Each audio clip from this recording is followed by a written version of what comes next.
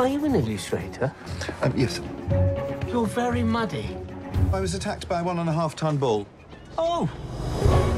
I am prepared to offer you a staff position. You capture something of a cat, perhaps because you yourself are an outcast.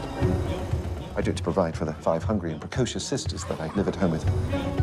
And we've had a governess. I think you're the first person to see that cats are ridiculous, frightened, and brave, like us. Miss Richardson has had an incredibly positive effect on this family.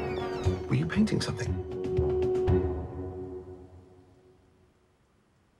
Is something funny, Miss Wain?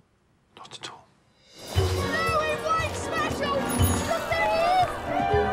You're cat man. Cat man. A whole cat world. They will turn blue and communicate with us in our own language. Did you say that they would turn blue? Yes, of course. Wow. What's going on in that funny little head of yours?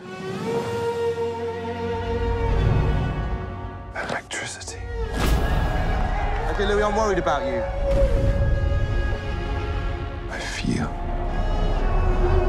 electricity. Mr. Wain, I have been called here because your sister is concerned for your health. You have squandered it on wretched cats and on a willful, doomed, tainted romance.